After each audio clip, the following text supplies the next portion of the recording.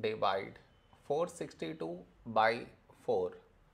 To do this division, we should frame it in this way. 462 here, 4 here. This is your step 1. Next, here we have 4, here 4. When do we get 4? In 4 table, 4 ones 4. Now we should subtract, we get 0. After this, bring down the beside number. So 6 down, so 6. A number close to 6 in 4 table is 4 ones 4.